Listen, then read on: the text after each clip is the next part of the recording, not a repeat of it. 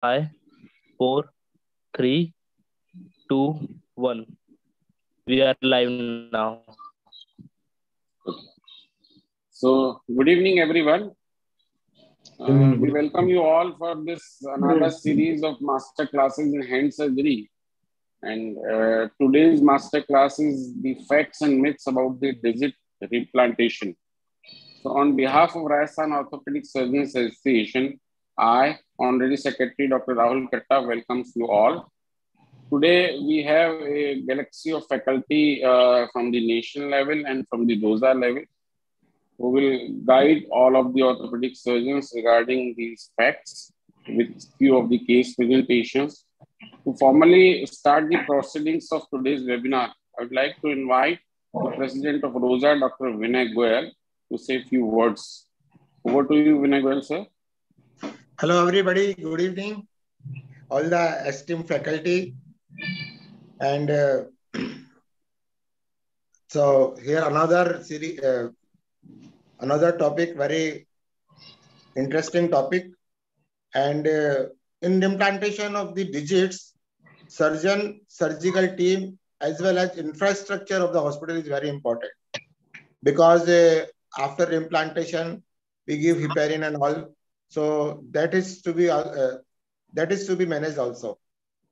So let us uh, let us see what our experts tell us, and uh, please please uh, start the proceedings. Yes. Thank you. Thank you, sir. Uh, thank you for your kind words. So, at the outset, uh, we would like to thank our esteemed faculty from Coimbatore, Dr. Hari, and from Bangalore, Dr. Jithendran. Uh, today's uh, webinar is moderated by uh, Dr. Amit Vyas, who is the Joint Secretary of ROSA. So I'll ask, I'll request Dr. Amit Vyas to take over uh, the moderate and first introduce the faculty and then start the proceedings. Over to you, Amit. Thank you, sir. So, uh, as Dr. Vinay Goyal sir and uh, Dr. Rahul Katta sir has told that today we are going to discuss about the digital reimplantation, facts and myths about this. So, uh, Rosa Office Bearer has uh, has keen interest to uh, discuss this topic because uh, in the Rajasthan, Rajasthan is an agriculture state. A lot of agriculture injuries are there, and uh, uh, every day we are getting these type of injuries. So uh, all orthopedic surgeons should know what is the best outcome about this. For this, uh, we have invited uh, uh, the masters of the subject. our guest faculty is first Dr. Hari Venkatramani sir. Sir is senior consultant at most prestigious institute of uh, hand surgery institute of India and abroad also, that is the Ganga Hospital.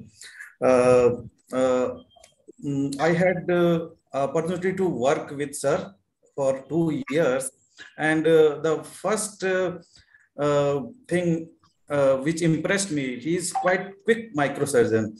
And in the night when, in the even in the night at two o'clock when implantation comes, he comes uh, suddenly and he starts the things and finishes very fast. And sir has uh, a good uh, academic career also and uh, he's president elect of indian society of peripheral nerve surgery. And he's secretary of uh, indian society of reconstructive microsurgery and brachial plexus surgery group of india. And sir uh, is associate editor of indian journal of plastic surgery plastic and reconstructive surgery and international microsurgery journal and he has published 16 uh, book chapters nearly 200 international and national uh, presentations and 90 peer review articles and uh, to uh, he's uh, he has awarded by Dr. Raja Sabapathy Leadership Award in 2020 Pete Prize the prestigious prize of uh, uh, Association of Plastic Surgery of India, Cleaner Assay Award of APSI, and Professor Robert Acland International Travel Fellowship of Indian Society of Surgery of the Hand. So with this uh, and our second uh, uh, guest faculty is Dr. N. Jithendran. Uh, uh, sir is working hospital in Bangalore and he's also although I he's considered as a young budding microsurgery, but he is excellent microsurgeon and his area of interest is uh, microsurgery means uh, uh, you can do small digital implantation, small free flaps. So, it, it, uh, and he's well versed microsurgeon uh, from the Bangalore, and uh, he has also uh, published some uh, book chapters and uh, color atlas, and he has nearly ten publications in the national and international journals. So, I welcome Dr. Jithendran sir. And with this, uh, we have uh, our esteemed ROSA faculty, uh, Dr. Asoka, Asok Khandaka sir. Sir is, as we all know, that he is senior most orthopedic surgeon in the Jaipur and uh, he is director of orthopedic department of most modern hospital of uh, uh, Jaipur, that is the Khandaka Hospital. And uh, basically, it is a landmark hospital in Jaipur for orthopedic surgery. And he is also associated, associated with, initially, he was associated with the SMS Hospital. And uh, he is a visiting professor at uh, Mahatma Gandhi Medical College also. So then, uh,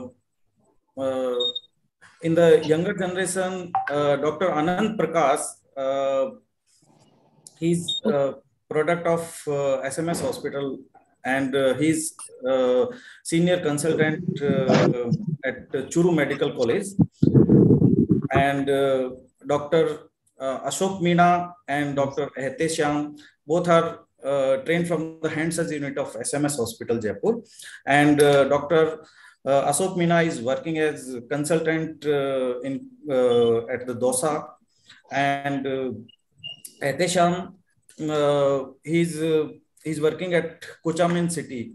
Uh, and uh, with this, uh, I also welcome and uh, thank to Dr. Vinay Goyal, President of ROSA, and Secretary Dr. Rahul Katta, sir.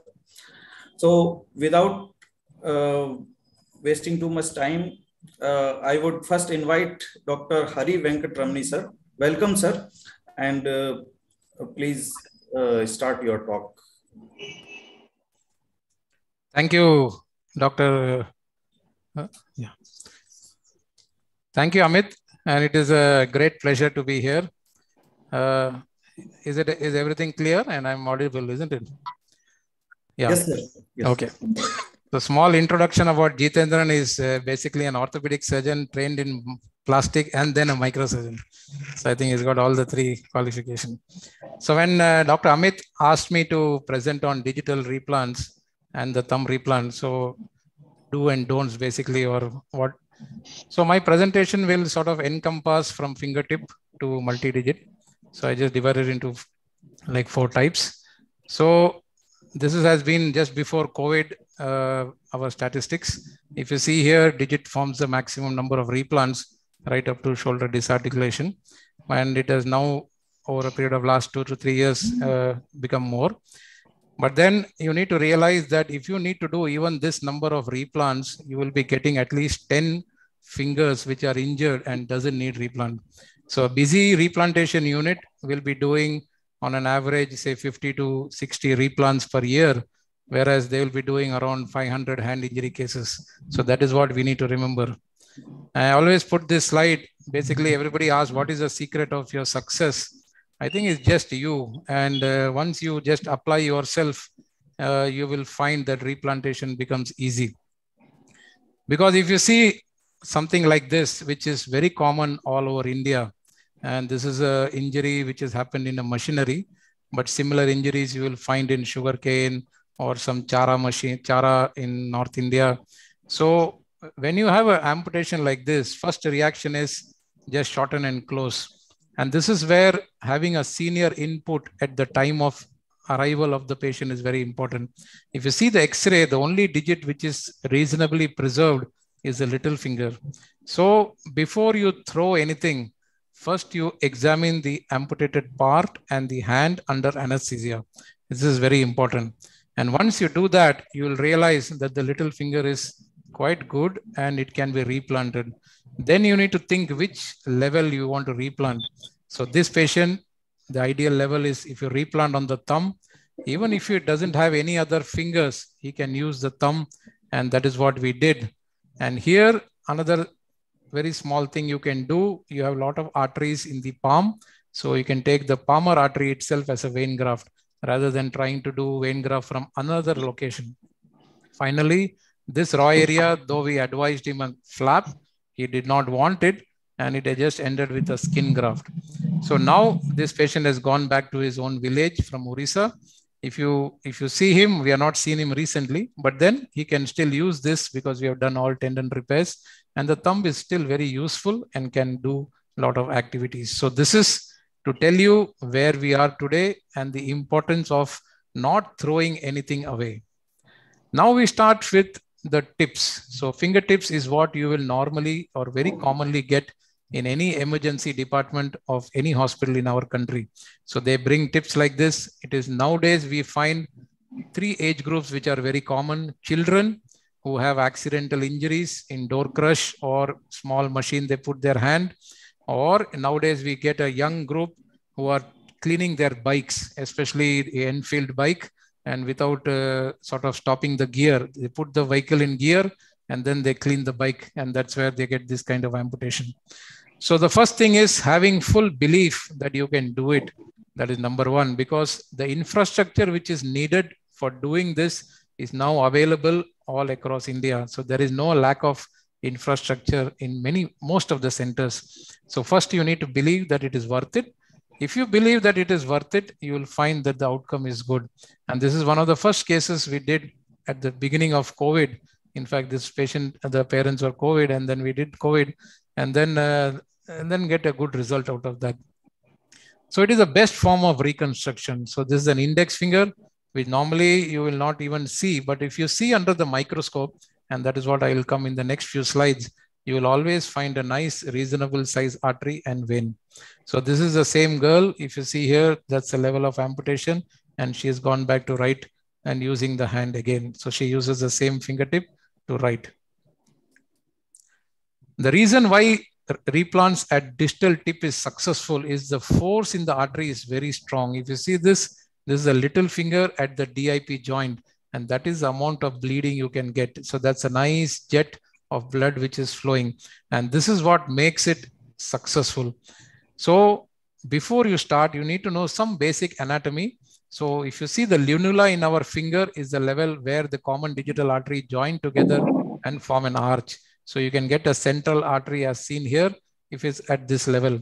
The artery is 0.5 millimeter in size, veins a little bigger in size.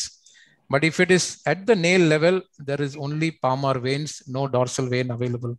You need to have the sequence in your mind and start with the sequence. So start with the veins, then artery, then skeletal. So we will go one by one. The first step is to stabilize the part. To stabilize the part, the part is very small. And these are my fingers here. So we find this technique to be very good. You stabilize between the ring finger of both hands. Use your index and middle on index and thumb on either side.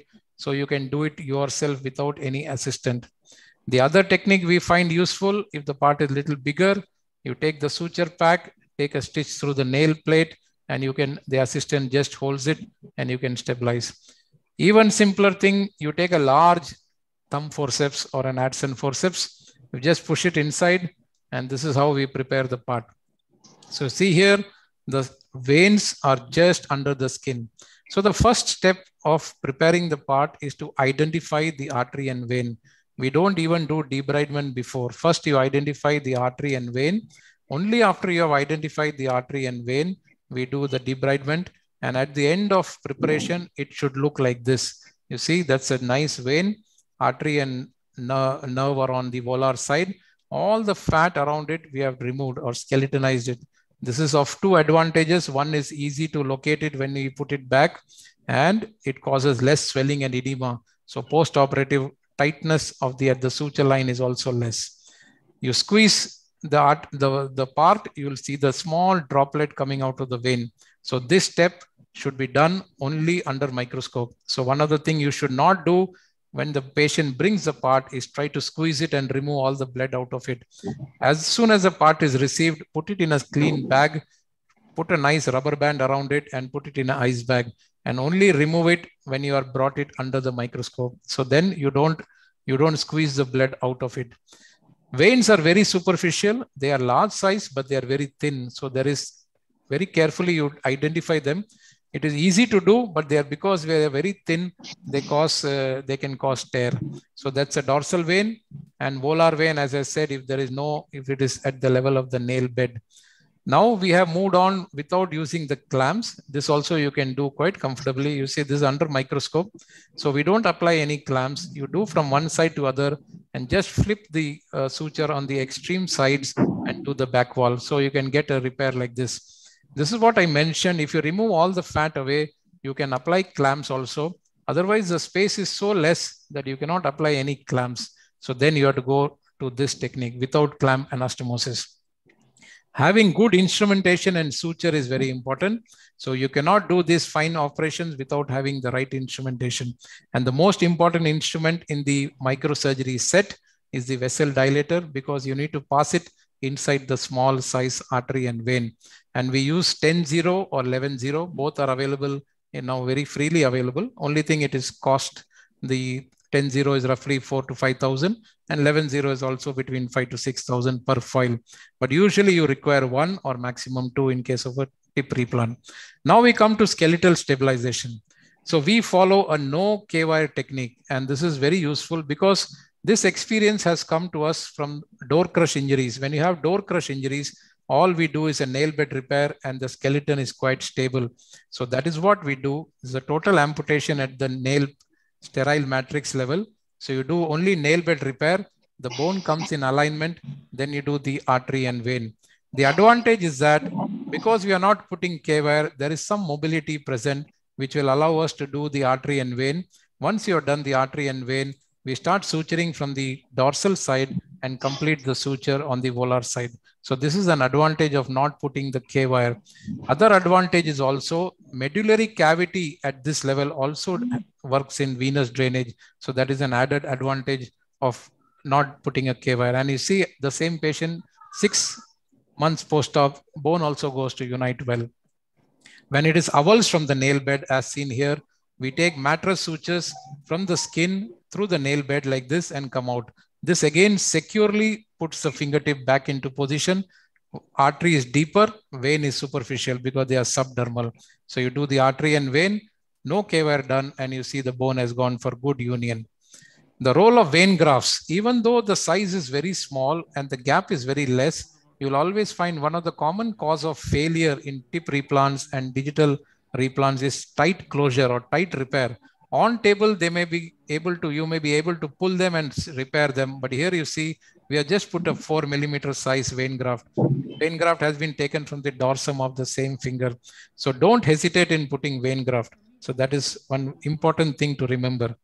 When you don't find the veins what we do so what we do when you don't find the veins we always try to repair the vein. But if you don't find the vein this is what we do now. And we do a chemical leaching this is a nice picture, so I put this picture, but now we do the same thing.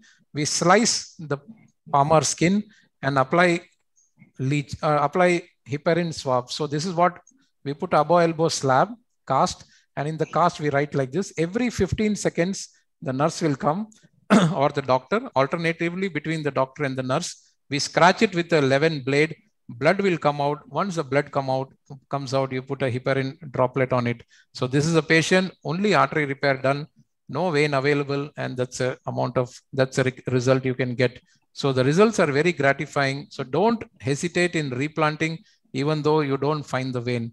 It takes four to five days of, uh, uh, of the chemical leaching. Usually the first 48 hours is important. After that, the skin starts healing. So we don't put any skin suture. You see here, hardly just one suture is there. The skin heals beautifully without any suture. Now coming to bone fixation and bone shortening. This is very important. When it is close to the joint, do not hesitate in doing arthrodesis of the DIP joint or IP joint of the thumb. So this is how it is. You see here, it is at the level of the joint, just the neck of the middle phalanx. We go for primary fusion of the DIP joint. If you have multi-digit involvement, always do the non-microsurgical part and then finally do the thumb replant. So you see here, we have done two VY advancement flaps, two cross finger flaps, and finally done the replantation of the thumb. And here we have done the replantation of the thumb and a cross finger flap for the index finger. So do, do all your non-microsurgical part first and come back and do the uh, replant. Do we always need to repair the nerves? Nerves, whenever available and found, always repair. But even if you don't repair the nerve, see, this is an example where we have not repaired the nerve. We just trimmed it and done the replant. But if you see his sensory assessment at nine at one year, still you get protective sensation between 8 to 9 millimeters. And this happens because the nerves grows through the skin edges and through the deeper elements and come and give them protective sensation. Why I am stressing so much on tip replants, because if you are not comfortable in doing tip replants, then doing replants in small children is very difficult. So that is why to maintain your skill levels, it is nice to do a lot of fingertip replants. So this is a child you see here. This is not exactly a tip. It is at the middle phalanx level, but then the size is quite similar to an adult fingertip replant. So now we move on to finger and thumb replantation. Here the structures are bigger. There is no muscle, so you can take your own time. You can do it leisurely. There is no emergency, no urgency. But we always do the replants at night. There are some centers who, who say that you can do it next day morning. You keep it in ice, preserve it keep it in the fridge, come back and do it next day morning. But then we always prefer to do that because Dr. Sabapathy, my chief, has a nice uh, statement. He says, if you do it at night, you become a replantation center. If you do it next day morning, you still remain a replantation surgeon. So if you want to create a center, you should do them at night. So how long can you wait? So this is another myth which people have. So this is a patient who had injury in Saudi Arabia. You see here, these are the injured part. The only finger which was good was this index finger here, the longest finger, actually the ring finger here. So here what we did at 30 hours, so he came to us, he flew from Saudi to Kerala, from Kerala by road. At 30 hours, we replanted the ring onto the index finger. Why index finger? We always find, see if you see the post-operative of the same patient, index finger always gives you better, better function. Though we we think that putting it on the ring or little will give you more span or bigger uh, bigger grasp but index is much useful especially for all our day-to-day activities writing and now with cell phone for texting also. So again here is an example of heterotopic replant. I showed one example before.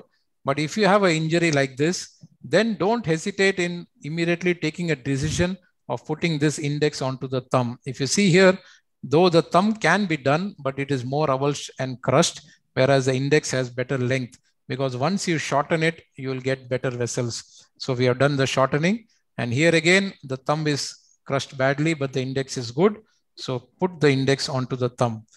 It is technically not difficult because you've got better length because once you shorten the index, you get extra length of the artery, vein, nerves, everything you get and the proximal tendons are always available. So before you throw away any finger, always think very hard and try to think where you can put it. And thumb is a choice. Now coming to zone two, again, another myth. And world over, there are uh, there are a lot of articles which keep saying that zone two finger and border digits, that is little finger and index finger should not be replanted. If you ask a survey or a poll among even microsurgeons across the world, Many will say that it is not worth replanting because they feel that zone 2 repair or zone 2 flexor tendon will get poor outcome. But it is a classic example. And this is another example of a little finger. If you see here, if you shorten it at the base and just put a small skin graft, functionally, there is going to be no difference. Everything that the person can do, the child can do. But here, if you see here, he was actually a manual worker. We have replanted it. It is short, but he's one of the happiest patient we have. You see the flexion he gets. We did only the FDP repair, but with the shortening, the FDP repair, repair gives an excellent outcome. So this is a multicentric study which we, which Professor Kevin Chung, who is editor of PRS now, started. And this was to study patient-related outcomes following single-digit replantation. And mainly index finger was the finger which they wanted. And we found the conclusion was with technical feasibility, replantation is recommended always if, if possible, and the patient wants it, and it is uh, possible. So doing single digit replant is worthwhile and patients are always happy. And even age is not a bar. So again, when you when replantation comes like this, this is one of our oldest patient. He was 78 when he when we came and when we took this picture, he was 82. He was father-in-law of one doctor. He went to a marriage. It's a ring avulsion amputation, and we did this replant. He was one of the most satisfied patient he we had. And young age again, when child is very small, always you need a good anesthesiologist. But if your anesthesiologists are willing to give anesthesia and they're good, then you can go ahead and replant because as I mentioned before, the experience gains in gained in fingertip will always come useful. Here again, you see the index is not good, but then what we did was we did a heterotopic replant. We did the ring onto the index and the middle, uh, the sorry index on the present, uh, the uh, ring on the index, middle onto the middle itself, and this is the outcome we can get at uh, nearly a, a one year outcome. So now we see the sequence. It is quite similar. Only thing we do the artery repair in the end when we have finger replant. The reason why this has been kept bold is that if you do artery repair before, everything starts bleeding. And many times once a finger is pink, you do a suboptimal extensor tendon, flexor tendon, all repairs. So finish everything. As I mentioned before, ischemia time is not a big, uh, big issue. Again, raise very thin skin flaps to get the artery and vein. The thing to remember in the in the border digits, index, little finger, and the thumb, border digits, the inner artery is the larger artery and outer nerve is the larger nerve.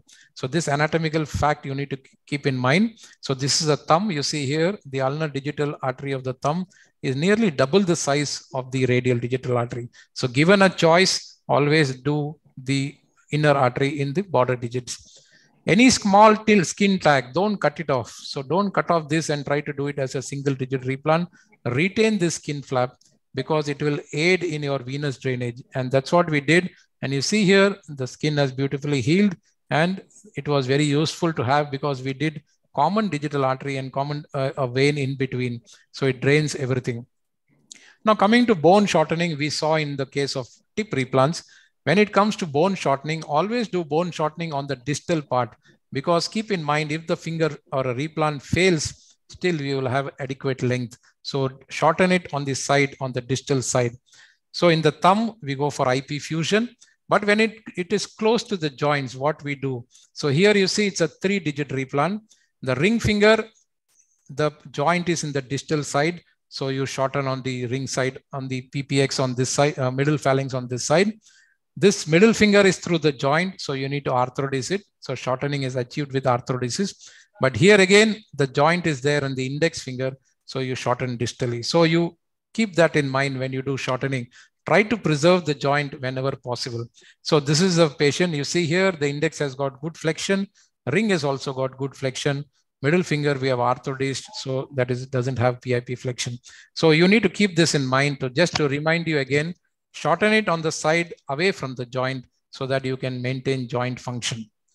Now coming to bone fixation, you can do it like this SS wire 9090, which is very stable and strong, but it takes time and sometimes gets entangled. So if you want to do quick fixation, distal to the M MP joint, axial K wires are quite good.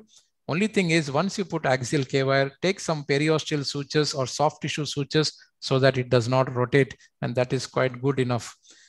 Another tip, when you have long skin sleeve, so ring avulsion, only the distal phalanx is there and you have a long thin sleeve, you can make a temporary sleeve like this because getting a small sleeve, uh, ready-made sleeve is difficult. So you take a long venflon and just cut the tip and you can get a fixation like this. So you can pass it inside because if you see here, the skin is long skin sleeve, the bone is right in the center, and this is a ring avulsion amputation. So how many arteries and vein to do? This is a very important, always asked question. The myth is that you need to do double the artery, the double the veins uh, as compared to artery. The actual fact is that if the artery is one millimeter in size, then you do two veins of one millimeter each. But if you have a big two millimeter vein, that is enough. So basically the circumference of the vein should be double the artery. Continuously, we use irrigation solution, which is like this, 200 ml of saline with 25 ml of xylocaine with 200, 2000 units of heparin. And this is used to flush all the time. Post-operatively, distal to the MCP joint, even mid-palm, we put a cast like this. The advantage of the cast is keeps it elevated, keeps it warm, easy to observe the finger from the top, and the patient cannot also move inside the cast. So this is very stable, nice. We keep it between 7 to 14 days.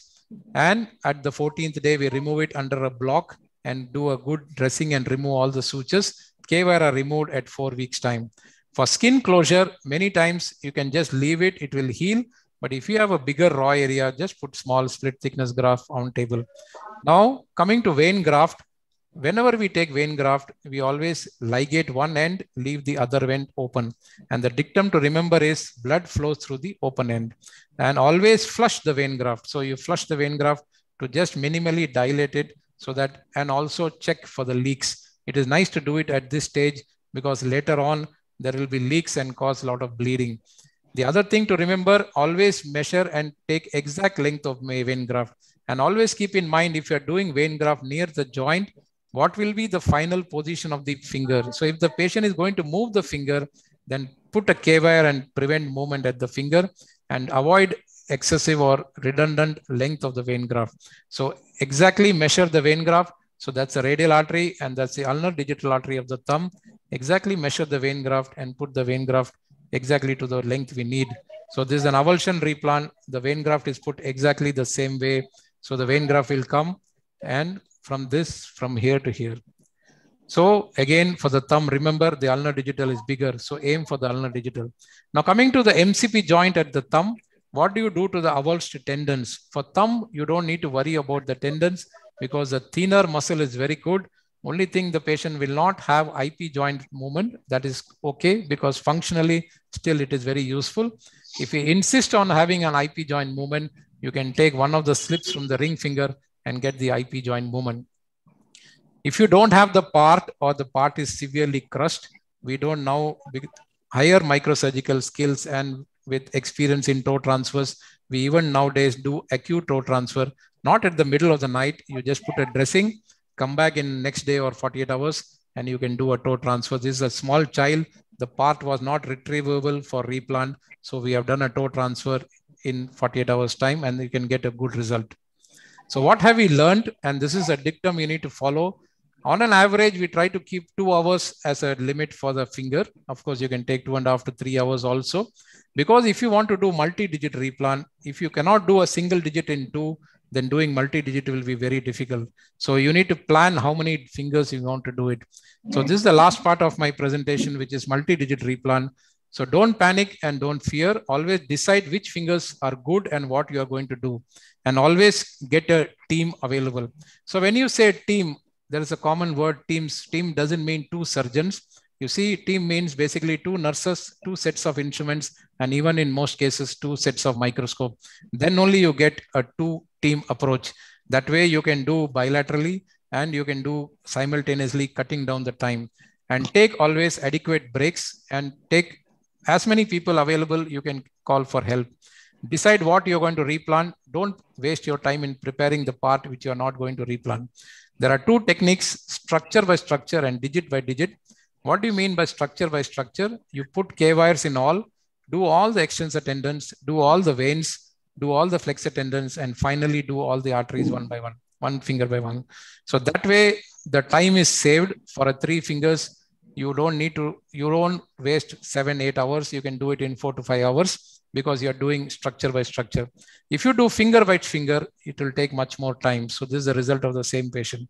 This is what we do whenever we have multi-digit replant so if you have replant like this we always prefer structure by structure technique. This is only case where we are done finger by finger because this patient came to us quite late. And by the time we started, it was already 15 hours of ischemia. So we wanted the thumb and index to be done first. So we started with the thumb index and went to the little. When we reached the little, it was nearly eight, nearly 20 hours. And that time the patient could not lie straight. So we had to give general anesthesia to do the little finger. We pushed for it because we wanted a five finger replant and the patient was also quite insistent that he gets five. So it's very important to build your mental and physical stamina because by the time you finish multi-digit replants, usually it is around 14 to 18 hours. Start physiotherapy as soon as you remove the K wire. So once you remove the K wire, start physiotherapy and tell the patient that patient will need at least three months of physiotherapy. Patients are always happy with initial survival, but long-term satisfaction is because of the tendon reconstruction. Have your secondary reconstructive capability also enhanced. So this is an avulsion don't worry about the tendon on day one. Get the finger survive. Once it is survived, then you can do a silicone rod, come back and do a two-stage tendon transfer. And that's the same patient. He has got good function following tendon reconstruction. Final few slides. This is technology will keep changing. This is a nice slide. This is Matterhorn. So 1932, this is a shoe the mountaineers are wearing. And this is a shoe they wear now. So the risk of failure is the same. Technology may change, but the risk of failure and failures will happen. The more you replan, the, the number of failures will also corresponding will be more because you'll be doing more and more difficult cases. So this is the first microscope in our department, which came in 1991. And this is the latest microscope we have. So even though the technology has changed, even in our department, you will still get failure. Failures are very disheartening but as soon as you get failure, you push yourself and do a successful replant. This is one of the youngest arm replant we have had in our department. Is a one-year-old child arm replant. We shorten the bone at the humeral level and we preserve the joint also by putting a distal radius plate for the elbow joint and that's the elbow joint preserved shortening done at the higher level and this is the result at four year outcome four year follow-up so moment you get a failure push yourself. Try to get something which you have never done before. So this is one of the youngest child we have never done before and you get a good outcome. And this outcome will sort of erase the memory of the failure. So finally i bring you greetings from our department. And all of us in our department do regular replans. And it is a teamwork as i showed in most of the cases you would have realized. You need a good team of anesthesiologists and plastic surgeons and the hand surgeons. Uh, in, in this is dr praveen bharadwaj all of you would be familiar with so thank you very much and we are open for questions. Thank you.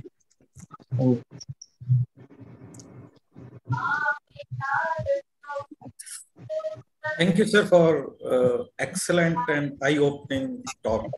Yes. And uh, it is just uh, making me nostalgic about Ganga training.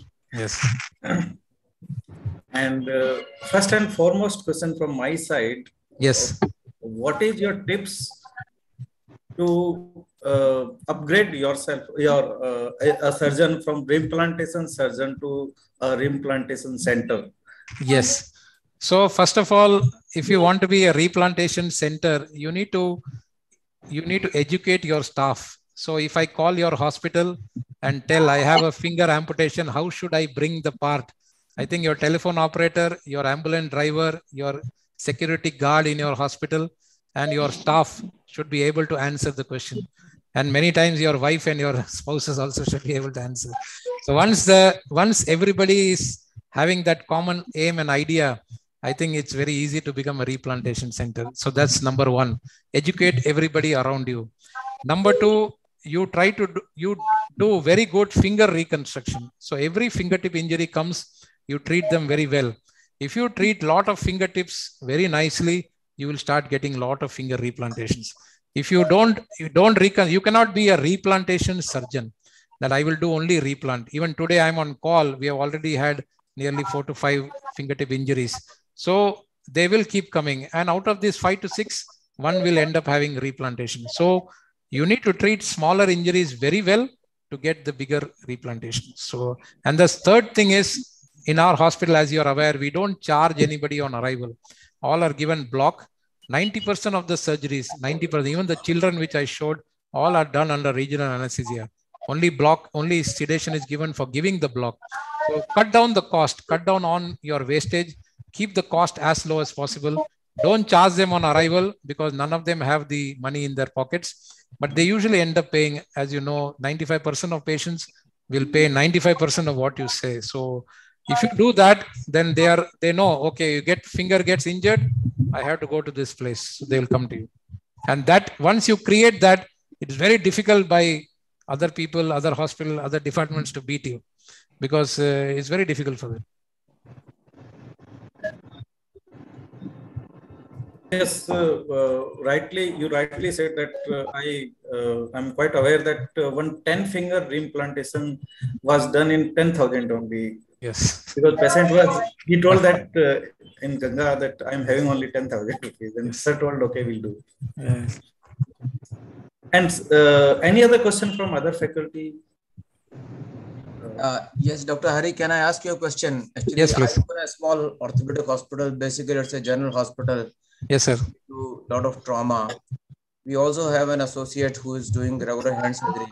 Yes, sir. But we are finding it very difficult to develop a team yes, sir. for uh, microvascular surgery and replantations because the problem is of the anesthetists, the OT staff, and the nurses and the assistants because the only hand surgeon cannot do the job. Correct. And the residents are also reluctant to, and most of these injuries come late in the night yes, say 10 o'clock, 11 o'clock, sometimes middle of the night. So how how to go about the yes, sir. So uh, it's a very for that. Yes, a very nice question, and that's what Dr. Sabapathy, my chief, keeps getting asked all the time. So number one is whoever wants to start, the leader or the team leader has to work hardest. At least for the first five years, he has to come at night most of the nights. So I've been in Ganga for 23 years now in the initial time, that is for the first five years, I was on call for one week. So there are there were days where we will do replants whole night for one, four, five days consecutive, and we will work the whole day. So sometimes you will even forget how many fingers or how many veins we have done because so tired we were. So you need to work like that for the initial period, number one. Number two, coming to anesthesiologist, you need to have a very good anesthesiologist. And when we do replants, the anesthesiologist only gives a block, but he gets paid as a major surgery. So he gets paid one third of the surgeon's price as we will do for a TKR or a spine surgery or a major surgery. If you think it is only a block and you pay him for a block, then no anesthetist will be interested in giving a block and sitting at night for 10 hours. Then he can do 10 cesarean sections by giving spinal or different uh, smaller procedures. So anesthesiologist has to be paid one third of say if you charge one lakh surgeon's fees i think 30 to 35000 anesthesiologist should be paid only for the block because then only when you pay him for blocks then he will take care of your small kids as i showed and all those cases now the staff again so staff has to work in rotation and you need to train two three in every level so two three nurses two three ward boys and eh, eh, they need to work so you can de-skill a lot of things you don't need uh, high-end people. You can de-skill them for uh, assisting in preparation, part preparation. You can call for help when you get a replant. So what we what we were doing, like even we do now, I can call the other consultants or other fellows. So similarly, if your hospital gets something, you can call from other people. You can call for help from people who are freelancers or who can come and help you for that. Because even if you don't get paid or paid less for a replant, replant bigs, brings only makes big news. No other surgery makes headline news anywhere in the country. In newspapers, in TV, in a school, if you replant a child, the whole school knows that child has got replant. And whole all the children's parents know they got replant. So a lot of hospitals spend a lot of money in marketing or trying to popularize or do advertisements. You don't need to do that. You have replant is a walking advertisement in your neighborhood, in your society, in your city. So I think uh, there has to be a different approach when you do uh, replantation.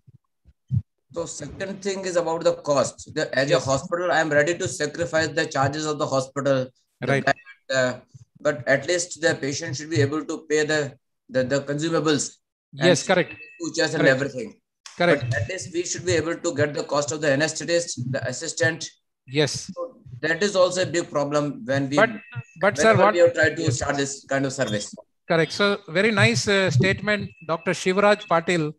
Uh, uh, who came to our hospital and he's uh, Sparsh Hospital director's father, you know, from uh, Bangalore. And he says very nice thing. He said, one is the rich always follow the poor. So you do 10 poor replants, you will realize there will be the then only three, four rich patients will come who have insurance and who will be ready to pay. You get experience by operating and by doing good service and good success rate in poorer patient and there will be time it's just matter of time. See when we when people were doing spine surgery complex scoliosis initially they're all poor. If you take any specialty initially you will get only poor patients. You will get lymphedema poor patients diabetic foot poor patients. And uh, but then once you get experience your center becomes a replantation center. All the rich and famous because injury happens to everybody. Injury doesn't Yes. see whether you are poor or rich so they will be flown. You see 30 30 hours the patient comes from saudi arabia. He has flown. Insurance pays for it. And his bill would have come to around 8 to 10 lakhs. Only transportation will be so high. But the company is ready to pay. So but then that would not have been possible if you are not doing regularly finger replants. So initially when you start there will be difficult times. But then i, I assure you in five years time or even not even five three to four now insurance companies pay a lot of money so insurance companies uh, are ready to give 3 to 3.5 lakhs and all the people who get bike chain injuries they're all insured. So insurance is not an issue. And consumables if you really see in finger replants is very less. It is hardly anything. It's just two switches and uh, one k wire and one pop slab. That's all you need. And some flexor tendon one uh, two files of 30 so if you really see the consumables for a replant is less than 10000 rupees which is uh, hardly anything and under block so block is very cheap Although the time is limited, but I just want to finish with one last question. yes sir And you must also be facing the same problem because of the these government schemes, the sir. schemes or state schemes. yes sir And uh, that is again a big deterrent whenever we try to start these kind of services in other sir. hospital. So we are also pushing to get more money out of the schemes. They give sometimes one lakh, sometimes seventy-five thousand. But then again, the number of cases which really come through the scheme is very less. But if you do that, it is also good for the government, good for the scheme. They are all they also want us to do. And if you write it nicely, we we request the local coordinator. They give more money also. They give up to two lakhs also. They give in special cases. So no, not an issue. So thank you, Dr. Hari, for answering you, all sir. my questions. And I Thank must you, congratulate you, you for excellent work. I have never seen this kind of work in my life. Thank you, sir. Thank you very much. Thank you very much for showing you, all sir. your work. Thank you, sir. Any other question by any faculty? You want to? Yes. Hari sir, I want to ask you a question. Yes, sir. That is, what other method do you use for bony fixation apart from K-wire fixation in for bony fixation? So bone, we always use K-wire. Other than the K-wire, sometimes you can sort of make a peg and push it inside, but still you need a K-wire. Uh, we never use plates for uh, digital replants. Many centers were using, actually we remove more plates by replant done in many centers or uh, in other centers. So because basically we are, we need a quick fixation, stable fixation. So distal to the MCP joint, uh, even when you arthrodesis the joint, K-wires are quite good enough, quite nice. Can we use uh, mini JESS for Suzuki frame like fixation? Very rarely, very rarely, unless it is very comminuted bone loss, but we are shortening the bone. So we never face a situation in replant where there is a loss. So we can shorten it adequately. If you shorten the thumb, as I showed you, even up to two centimeters of shortening in the thumb is not functionally disabling. So we shorten the thumb. Replanted uh, JESS and Suzuki frame we use when it is hanging, not a replant per se, maybe a revascularization where there is a significant bone loss and you want to come back and do a bone transfer, bone grafting or something. Then we do, yes, we do external fixation only in those situations. What are the absolute contraindication like uh, in a case of avulsion injuries? So there is a, I think technically there is no contraindication because now people have moved away. What is not replantable in one center is replantable in another, center or in another hospital. So technically, if, if it is severely crushed and no structure is like seen, like I showed that multiple levels like that, then technically impossibility is one contraindication or not possible. And patient is very sick. So on blood thinners, if the anesthetist says that he is not fit for replant, then we, as you saw, our anesthetists are very good. They are ready to give us anesthesia for even small children. And uh, because they are all many time, most of the replant are full stomach when they arrive. So if the anesthetist says risk to life, because mortality is not acceptable and we can always uh, shorten the finger and uh, so should not be done. So anesthetist fitness, absolute contraindication. Patient is very sick and has got a ejection fraction or any cardiac problem, we don't replant. In a patient of uh, chronic smoker. Yes. So chronic, actually, chronic smoker also is not a contraindication because if you see most of our patients are smokers, adult patients. Hardly we find patients who are not smoker. In smoker, you have to be a little more careful. You dissect it more. We do more of adventitia trimming. We, we avoid vein grafts. We shorten it more and uh, we give heparinize them and uh, we put a more stable fixation. That's all we can do. We do a lot of uh, microsurgery in smokers. So it is not as such a contraindication, but we tell them that there is 50-50 chance that it might go for uh, gangrene. If it goes, that actually the result I showed a failure was a young smoker all the fingers were gangrenous. Very rarely you will find that all fingers go gangrenous unless he's a young smoker. Yes. Thank you. Thank you. Yes, sir. Rahul Katta, sir. Sir, you are mute, sir. Mute. Yeah, yeah.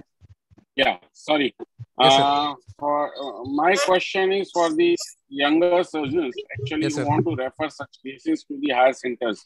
Yes, sir. See, Rajasthan is a bigger state.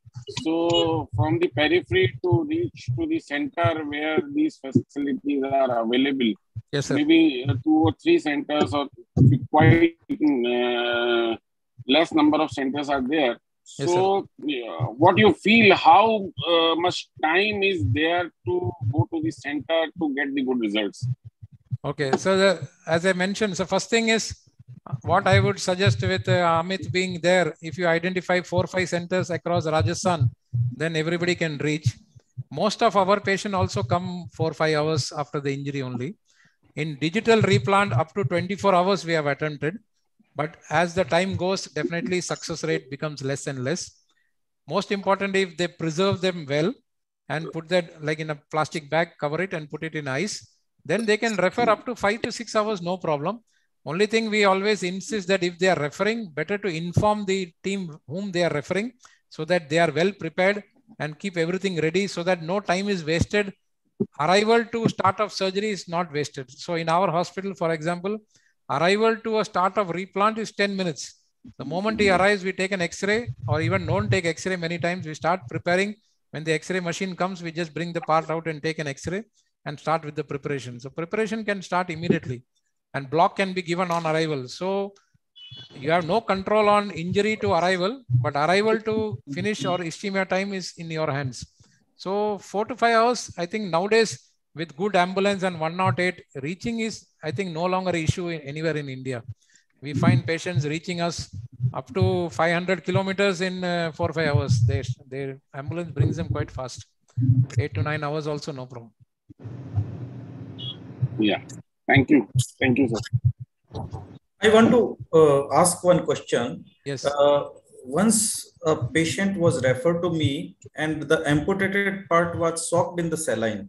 Yes, it happens. Yes. So that is a yeah, that is a I won't say contraindication. Again, if it is a thumb or a critical finger, we will still attempt it.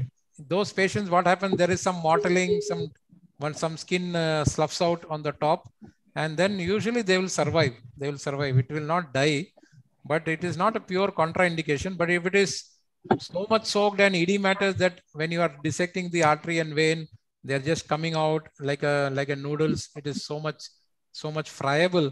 Then uh, it is that means it is uh, totally destroyed and not not fit for replant. But uh, what happens is common mistake is that the knot they put on the plastic bag is not tight enough and the ice by the time they reach your hospital ice is melted so it becomes like an underwater seal so we instruct them that every frequently you you replace the ice So that is another thing you should tell the patient when they transport. Better is to take a flask if it is a single digit or an ice box so that the ice doesn't melt and keep changing the ice as it melts on the on, on the way. So usually highways in dhabas, they will stop, change the ice and then come. So if you instruct them that, then it is quite good enough. But still you should attempt it. It is not a contraindication.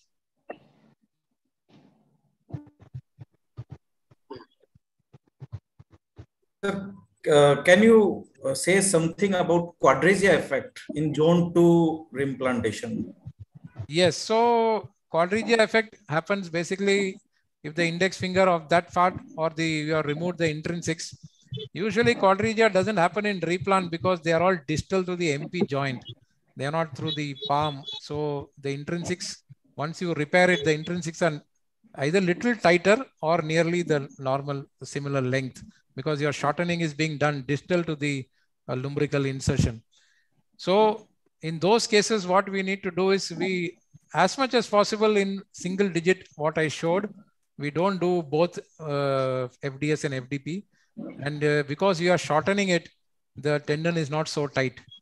The quadriga more common will come if you are not shortened it and you trim the FDP tendons and do a tight FDP repair, then the finger is very tight and you're not able to extend. More than quadriga, we find is uh, a tight flexor tendon.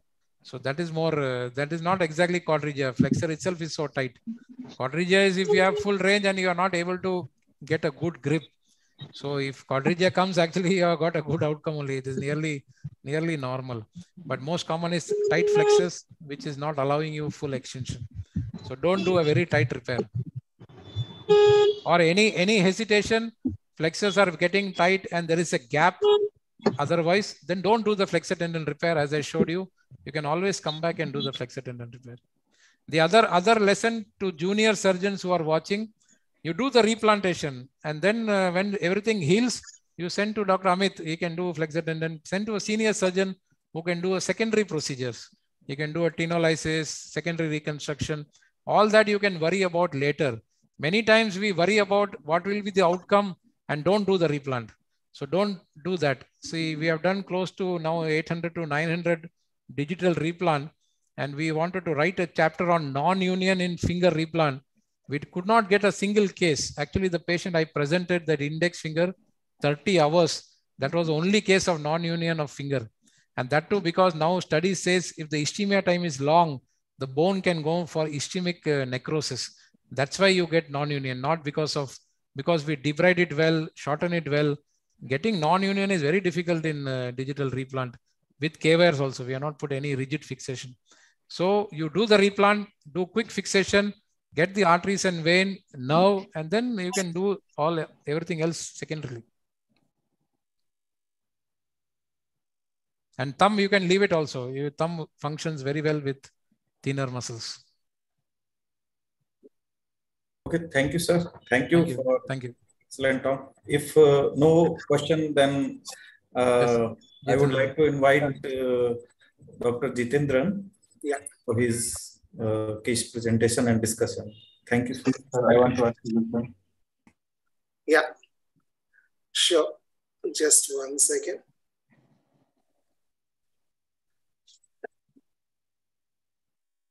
Just one second. So, after that excellent talk by Dr. Hari, which was very extensive and very elaborate, I'll just show you a few examples of what we do generally and what is the general outcome of such patients. Okay. So for thumb amputation, these are, these are the distal phalanx level. So these patients, in these patients, you will not get a dorsal vein, but if there is a small amount of skin which is there on the dorsum like this, then you can get one or two veins here, and then you have to do a volar vein here. This is how you search the veins. You may not even have to give an incision. You can just lift the skin above, and then you may be able to identify the veins just below the dermis. The dermis in the volar aspect is thicker. So you have to be, uh, means close to the dermis, but you should go below the dermis. Most of the times, many people will just uh, be doing it through the dermis. If you go through just through the dermis, it will not be there. You have to go just below the dermis with a sharp knife. Then only you'll be able to identify the volar veins. And the artery in these is just above the periosteum. If you just see above the periosteum, you'll see the artery. So in this, generally in finger replants, before we used to use heparin as a, as a, as a dictum. Nowadays, we have stopped using heparin as a dictum for all the replants unless there's a venous condition. If there's a venous condition and we have to do a chemical leeching, then only we are using heparin. Otherwise, no heparin is being used for any of the replants. So this is another case. Here you see it's an avulsion amputation. The bone is actually projecting out and the, in the distal part, there's a more of skin. So here dorsal veins are done. You can see uh, after shortening, you can do a direct anastomosis without any problem. And then this uh, after one and a half months. Uh, and then again, this after seven months. Even though the thumb is short, but as Dr. Hari also mentioned that uh, they are still functional. There's another case where you can see it's a machine injury. The thumb is uh, means cut with the serrated edges. So here again, you can do the dorsal veins down here. And then and the, if you see after some time, and the, he can use uh, the thumb effectively for all his activities. He's a villager and he's able to use it for his activities. Okay. So next, there's another case here. There's a thumb amputation. After a proper replantation, he, he's able to use the thumb. This for the thumb. Then index finger. Here you can see this patient was referred to us from Mysore. He traveled around 200 kilometers down, down from here. Then he didn't have the middle finger. Middle finger was not brought. It was a bike chain accident. So the DIP joint was arthrodesed. It was fused. The middle finger was closed. And then after that also, he's able to use it effectively. So it's a zone one replant where the patient is able to use the finger, which is replanted. There's another case of a zone one amp amputation. It's through the DIP joint. So here, if you have a dorsal skin around on the dorsum, you'll be able to, to find to find a, a good vein on the dorsum. And then with, with one artery and one vein, you should be able to make it survive. Again, here means uh, the dominant digital artery, which is the ulnar um, distal artery was repaired. This is another case, bike chain accident, traveled around 200 kilometers. Two or three, uh, two veins were done dorsally and the dominant digital artery was done. This, this, is, uh, this is another case. Here, if you see, there are two fingers which are amputated. One finger is not replantable because uh, it was avulsed and the vessels were not good. The other, other finger, we were able to replant it. One volar vein and uh, the distal artery was done. This other case, this simple replantation was done. Okay, when you have uh, a smaller child, like a one-year-old child, here index finger was revascularized and the middle finger was replanted. And this one year afterwards. Okay. So here we have two finger amputations. In this, the artery only was done for the index finger. In the middle finger, we were able to do the, both the veins and arteries because we had good amount of dorsal skin. And if you see the functional outcome, they are reasonably good functional outcome you can get. Here, if you see the amputation is for two fingers, it is through the PIP joint. Both the PIP joints are involved. So we had to fuse the joints. So that's why and the, he doesn't have movements in the PIP joint. But he is able to use the fingers. This is a case where we had four finger amputation. Two fingers survived. One finger we lost. Other finger we didn't replant. This finger we didn't replant. So two fingers, once they have survived, they are useful. That's the important thing. If you do it, it should become useful. Then this is called a ring avulsion amputation, where a ring of the finger is got has got caught in any object and it has pulled the finger out. So the artery and veins both are cut and it is possibly hanging from a, a few structures. So here again, the veins are done, the artery is done. And as Dr. Hari suggested, uh, means we, we use a cannula and pass the K wire with the small um, syringe cannula and pass the K wire.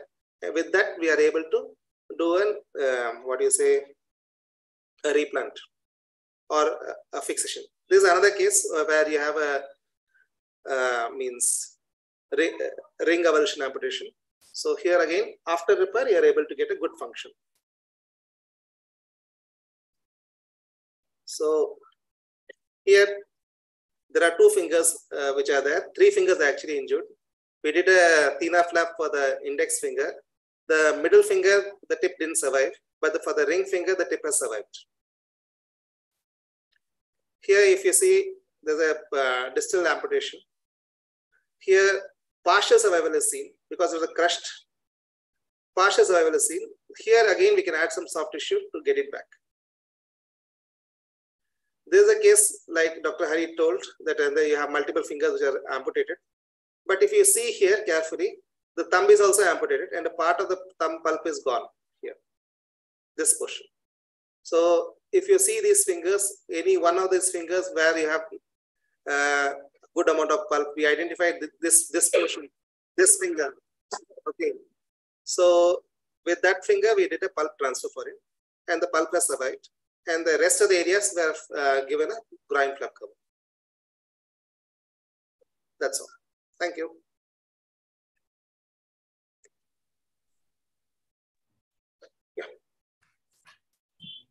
Excellent example, sir. Yes, amazing, amazing cases. And uh, so just to, to, actually, he answered all the questions which were discussed before. Number one, how to create a center. So he's a one-man center in Bangalore. All the replants uh, he's able to attract. So because he, he just attends to every replant which comes, you see the number of cases he does. So he's one of the highest number of replants which he does in his center, in his area. So just uh, you keep attempting if you keep attempting, see the amazing results. Even many of them cases, even in big uh, centers, I was just shocked to see many of the fantastic results. So, congratulations, Jitendra. Very nice. Thank you, sir. Thank you. Basic is to keep keep attempting. Whatever case comes, go ahead, see it under the microscope. Only if you think that that is not replantable, then you do other form of reconstruction. If you are able to see a good vessel, then go ahead and try and replant many times when others have said that you can't replant it, then also we go ahead and replant it. Uh, can we throw some light on ring avulsion amputations? Ring avulsion amputation is basically that the ring has got caught on the finger and it has pulled the artery and vein along with the and usually the fractures are either, either the middle phalanx or the, the joint, the DIP joint. So only the distal part is having either only the uh, distal phalanx and a part of the middle phalanx or only the distal phalanx. So here we can't do Uh, a FDP repair. The tendon repair is not possible, but the PIP joint is intact for him. Most, most of the times in, in a ring avulsion amputation, the PIP joint is intact. So functionally, they'll, they'll, it's acting as a distal replant. It's acting as a distal replant. But the skin level of amputation is at the level of proximal phalanx or, or at, the, at the level of PIP joint. So functionally, they are good. Only thing is the artery and vein, sometimes you will have to put a vein graft to cover, to span the this thing. And you can do a shortening at the middle phalanx level. Functionally, they always do well.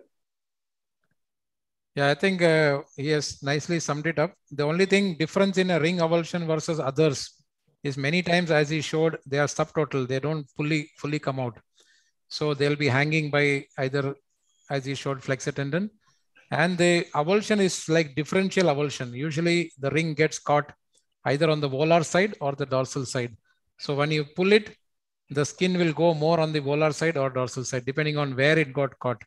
So, and always you will find veins. So veins is never an issue. The artery is differentially cut. Either the radial artery, radial digital will be at one level, ulnar will be one. So that is one indication where we can switch the artery from one to the other. So whichever is longer after you shorten, you can cross over to the other side. And don't worry about flexor tendon reconstruction because FDS is intact. So they many of them even don't need a DIP fusion and in the future. So functionally, they are quite good. It'll be it'll be fine.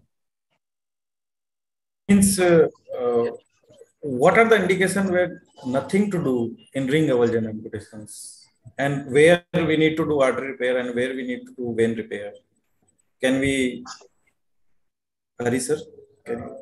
Yeah. So basically, the classification of ring avulsion so if the artery, usually if artery is not involved, they won't reach us, they won't come to us. That means it is viable. So like sometimes in children, in, we just published an article. In South India, we have this idli plate, what we call idli tatte, small idlis. So the fingers in between the child will put a finger. So that's a big ring actually, not a small ring. And it will get stuck. So if you remove it, then only the skin is involved. The veins and artery are intact. So that is the only indication where even if you don't suture the artery, the skin on either side, it will heal nicely. So that is one. Many times volar side is intact, dorsal is gone. As I mentioned, depends on which side the ring has got caught. So in those cases, we do only the vein and it is okay. But many times if the volar skin is very good intact, then if you just suture the dorsum, the venous drainage will happen from the volar side. So that is also fine. But if it is non-viable, as most of the cases what he presented, then you need to explore and do the uh, both artery and vein. It is always nice to do artery and vein. And uh, so if you do good artery and vein, you can have a good night's sleep. That's what I tell everybody. So better do artery and vein and uh, the drainage will be better, definitely. And uh, other thing is, if you have a venous problem, you don't have to worry at all.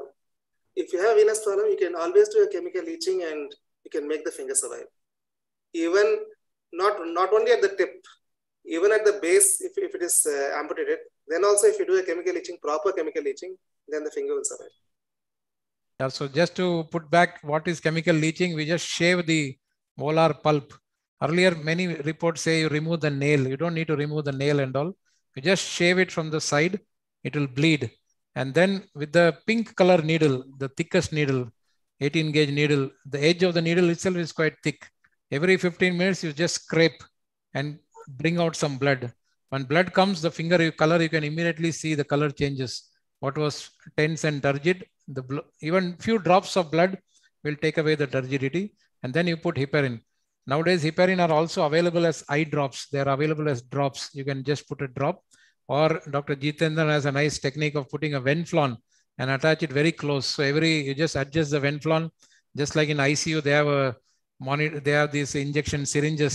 It will keep dropping one drop uh, every 10, 10 uh, seconds or so. So that is also a good way.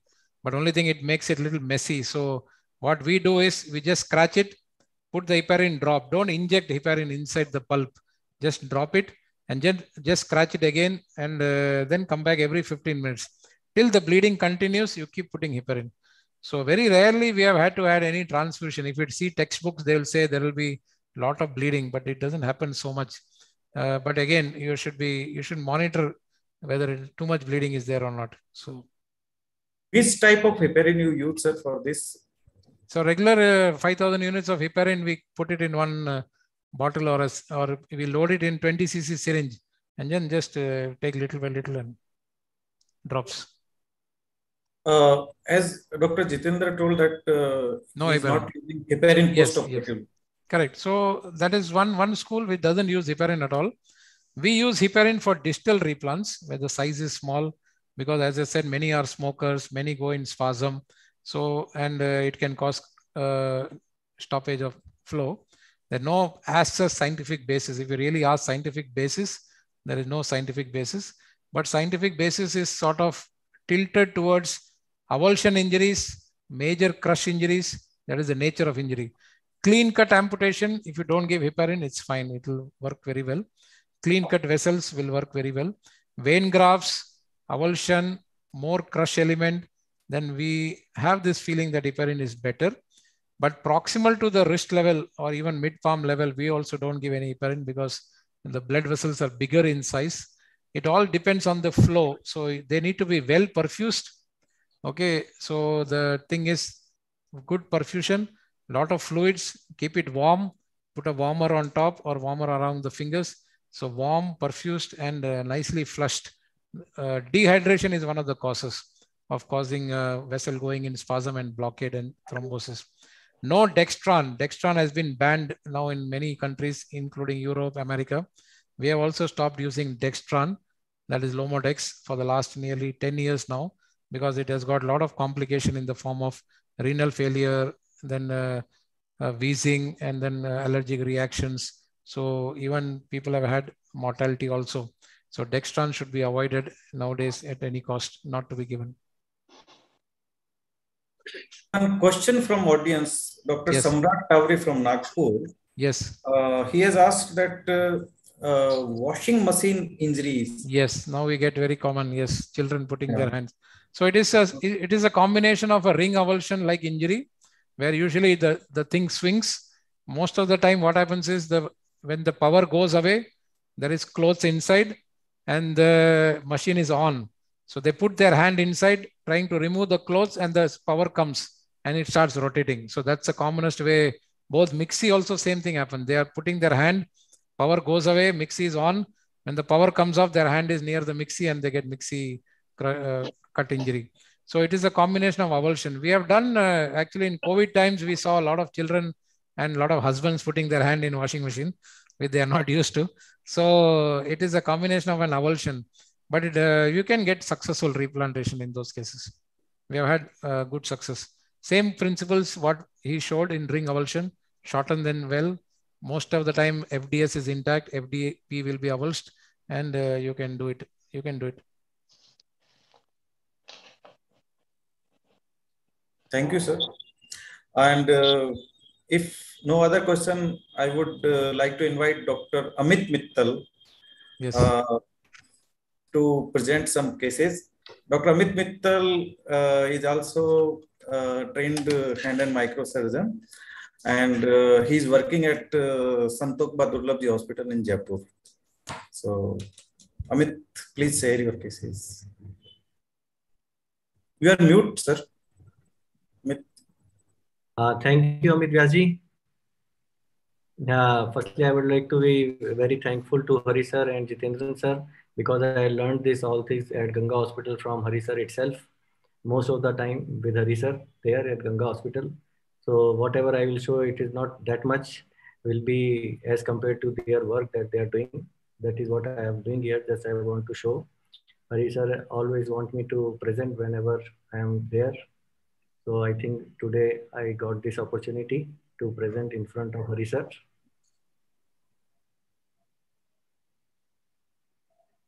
The screen is visible, sir? Yes, yes, visible. Yes, yes, yes. Thank you, thank you. So the how I started thinking that uh, whether I should do replant or not whenever patient comes either in the night or in the morning.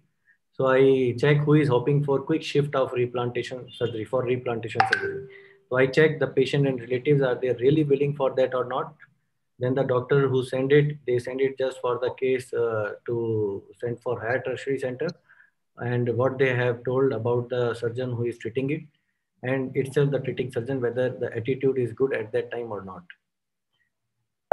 So what prompts me suppose all rest of the things are good my patient is uh, ready to take that uh, risk that whatever we will try the uh, outcome he should expect uh, whatever he should not say that uh, we have not done anything. So that time, salvage of uh, one case has come. I don't have the pre-op picture of that, but I know the I have the follow-up result of that. So this is the first case that I have done in, in Jaipur when I came from Ganga Hospital. This is a avulsion re, uh, replantation that I have done. And when I saw this results, I was very much uh, in bad state that what is this when i was at ganga hospital there, there is no case like this and uh, the replantation if i will continue like this with such early deformity then what is the point of doing replantation like that i was thinking but then when the patient came to me he was so happy to show that uh, he can put the plug, sir. The deformity. I was thinking the deformity is ugly, but the patient is showing that, uh, sir, I can manage all the things. This is what I want to show you.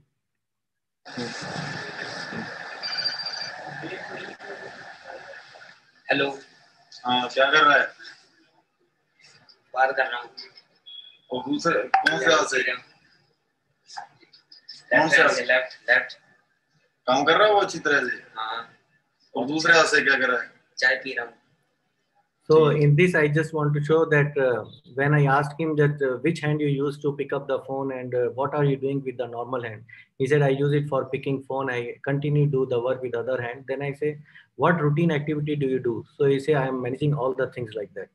So I was happy just to check the patient is not complaining me that what is this ugly deformity is there, but uh, I have tried uh, thinking myself why it has happened. So this is because when I asked him why it has happened, he said, sir, someone has expired in my family and I couldn't come and thus all the wound has opened up.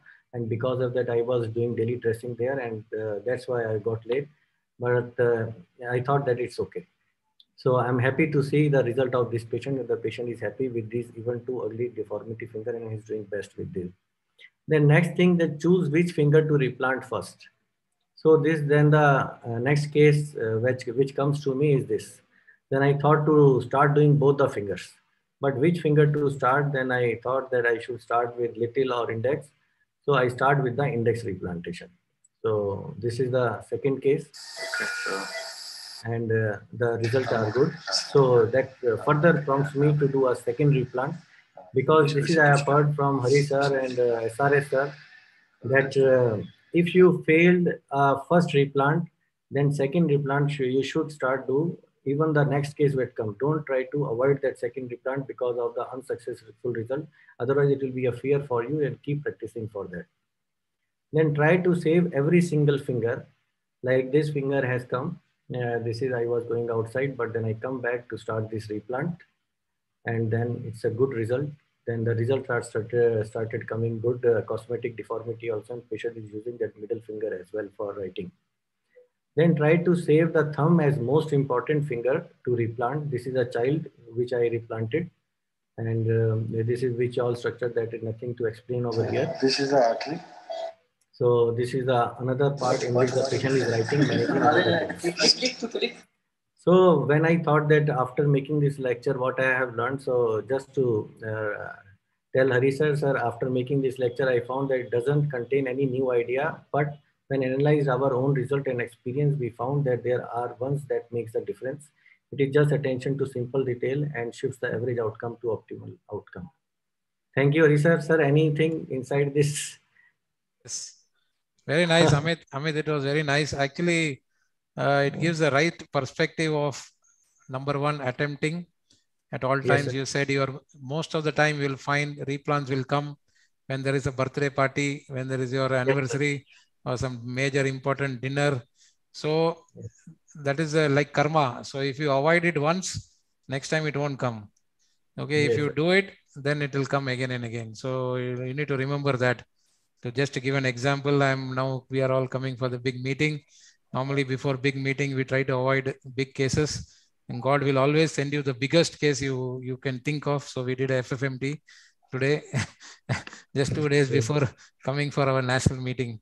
And dr Sabapathy was going to singapore as visiting professor on monday and we did a toe transfer on saturday. So that is what happens so you'll always find that you need to so your willingness to come back. I think if juniors have to take a lesson the first uh, somebody calls you sir there is a finger amputation. So only two responses verbal response i will come. And uh, motor response we can go into your car or scooter or vehicle and then reach your hospital. I think if you that Yeah. have that in mind you will continue to be a good microsurgeon. So that is one. Second is you did the index which is nice because as i said aesthetically functionally we have done now. We are going to publish the paper. These three fingers are much better than having these three and and the ray amputation or index missing. A lot of doctor doctors lot of textbooks will say having ulnar side is more power more grip. But uh, aesthetically and now even functionally we found that these three are better. So that's what your result is very nice. The first case i think your k-wires came through the joint. That's why it went for flexion contracture. So you anticipate this problem. If you think the patient is not going to come back, he's a manual worker, then better keep it in extension. Getting stiff finger in little extension is always functionally useful because they will flex their MCP joint and that is enough to get you good function. So the same patient, if he's now having like this, if you had got stiff in this position, functionally it is much better. So avoid bringing the K wires through the joint, that is PIP joint, and that's why you got this. So otherwise, excellent results. And uh, the most important thing is keep doing it. So always remember, as you are a microsurgeon and a replantation surgeon, life will never become easy. So today I'm on call and I already many missed call have come from the OT. I have to go up and do. So life never becomes easy. You may become a big man, big president, big society, but still uh, what you have to do, have to do. So keep doing it. As long as you keep doing it, you'll keep getting cases. Your center will keep becoming a big uh, replantation center. I think that's a takeaway message, big message in your talk. Thank you. Thank you, sir. Thank you, every ROSA members, please. Uh, can you stop share your Amit? Mm -hmm. Ah, okay, okay, okay. Stop sharing. Yes, sir. So uh, I think uh, uh, to summarize, uh, we have discussed a lot about uh, digital implantation, its outcome, and most important thing is uh, how to develop a reimplantation center. So this is a good message uh, by Dr. Hari sir, and uh, and and I clearly remember uh, uh, the SRS sir used to say, "Throws the ego, not the limb." Yes. So. Yeah. So with this, uh, I would like to hand over to Dr. Rahul Katta, sir, uh, Secretary ROSA, to uh, summarize and. Yeah. So thank thank you, Amit. So first of all, I would like to thank Dr. Hari Venkatramani for such a nice inputs and words of wisdom regarding the uh, replantation and uh, guiding our younger surgeons to and uh, uh, also promoting them to start the digit implantation in state of Rajasthan. So also the words of wisdom from the, Dr. Jithendran. So it was very nice presentation, good discussion, good facts. I hope we all have learned a lot today and it's the duty of the younger surgeon to spread the myth, uh, spread the facts about the digital implantation. Definitely, we have to develop many centers to serve the public, to prevent the deformities, to prevent Uh, the disabilities in our population. Because now the training is good. You all younger surgeons are trained. It's your duty to spread the awareness. So on behalf of Rajasthan Orthopedic Surgeons Association, I would like to thank everyone, especially to our guest national faculty and the faculty members from ROSA, the younger surgeons, for this nice discussion and nice webinar. Thank you. Thank you, everyone. Thank you, sir. Thank you. Thank you.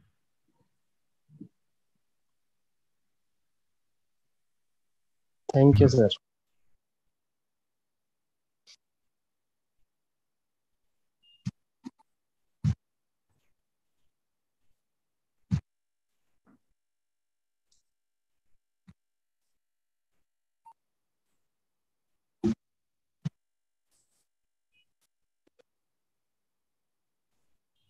So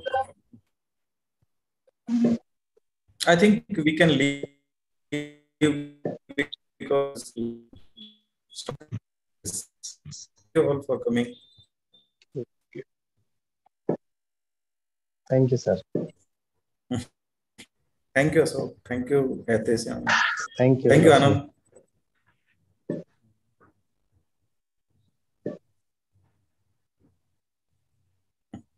Okay, bye. Okay, bye. Good night. Thank you. Thank